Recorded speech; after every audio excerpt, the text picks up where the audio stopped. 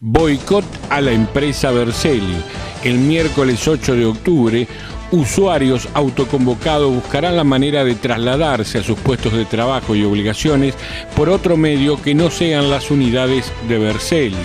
Esta iniciativa se originó y se desarrolló a través de las redes sociales, logrando hasta el momento más de 500 adhesiones. El boicot se origina en el aumento del boleto, que a este grupo de usuarios le parece excesivo y además vuelcan quejas sobre la falta de señalización en las paradas en todo el distrito de San Nicolás y en Ramallo, en todas las ciudades donde presta este servicio. Además, se quejan del hacinamiento las unidades en los horarios pico en todas las líneas y la falta de calefacción en invierno y aire acondicionado en verano, como así también la falta de control de parte del municipio.